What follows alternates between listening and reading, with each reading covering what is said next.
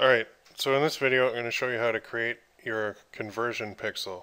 Now to do so we need to go into your ad account and under tools we're going to go to pixels. Okay and they're talking about a new one here um, but we don't need this right now. Um, we're going to use the conversion tracking pixel the old one for now.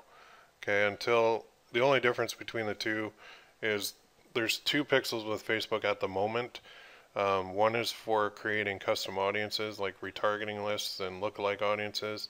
The other is for conversion tracking. What Facebook's doing in the second half of 2016 is they're going to combine those into one pixel. So it'll be one one ID number that you use instead of two different ones. But as of right now, it's kind of they call it the conversion tracking pixel old. So they tell you right here we're removing it, but we're still going to use this one uh, for as long as we can. Okay, just because some of the systems like GearBubble and that are not updated yet to handle the new Pixel.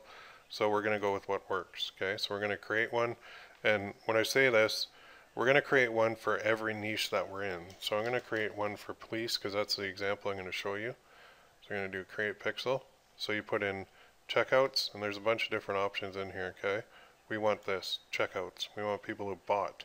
We're going to name it checkouts dash, in my case, police because I know I'm going to be in the police niche doing a police necklace.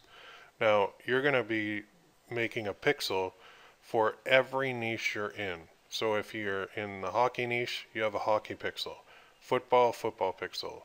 Um, pit you're going to have a pit bull pixel. Okay? And you can create multiple necklaces that use the same pixel in that niche. So you could have 20 pit bull necklaces out there. They're all going to use the pit bull conversion pixel. Okay, so every time you launch a new, you test out a new design, you have to create a new pixel just like I did. It's that easy. Watch, create pixel, done.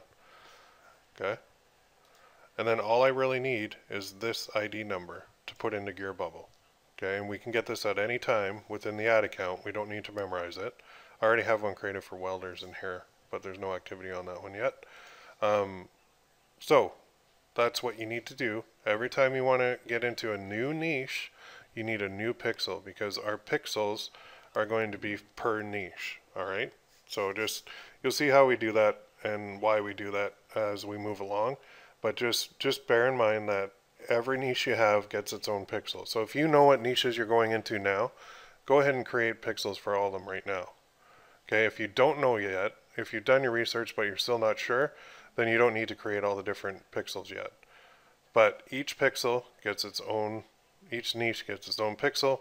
This ID number is what we have to input into GearBubble later when we launch on GearBubble. And I'll show you how to do that.